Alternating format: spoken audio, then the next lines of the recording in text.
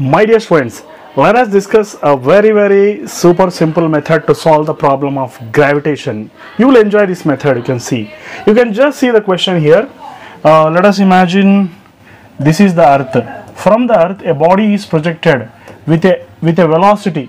A body is projected from the surface of an earth with a velocity equal to 50% of escape velocity. That is the question actually. Okay, if the velocity is equal to half of the escape velocity or 50% of the escape velocity then what happens? What is the meaning here? 50% or it can be taken as half of the escape velocity. Let us imagine this half means let us take n equal to 2 here. Okay? That means in general you have to consider v is equal to ve by n. If it is half or one third what it may be okay? If it is half or one third or one fourth what it may be. So ve by n. N you have to consider.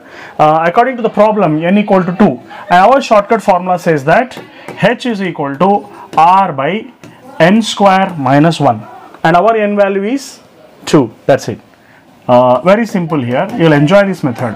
N square is nothing but 2 square minus 1 that is r by 4 minus 1 is 3 so within a single step you have solved the problem where in the books you can observe how it is solved by taking conservation of energy total energy at a is equal to total energy and b and kinetic energy potential energy kinetic energy potential long long long process which will irritate you in the exam.